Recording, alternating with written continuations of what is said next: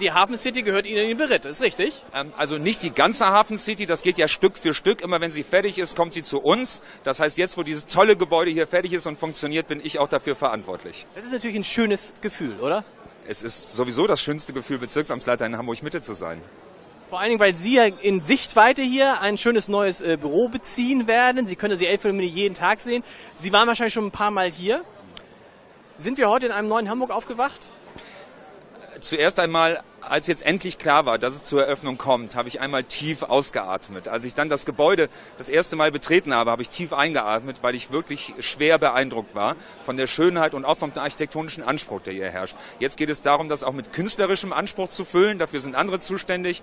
Es ist kein neues Hamburg. Hamburg ist aus ein, ein, ein Gebilde aus vielen kulturellen Mosaiksteinchen, aber dieses hier glänzt ganz besonders. Mögen Sie klassische Musik? Ich liebe klassische Musik.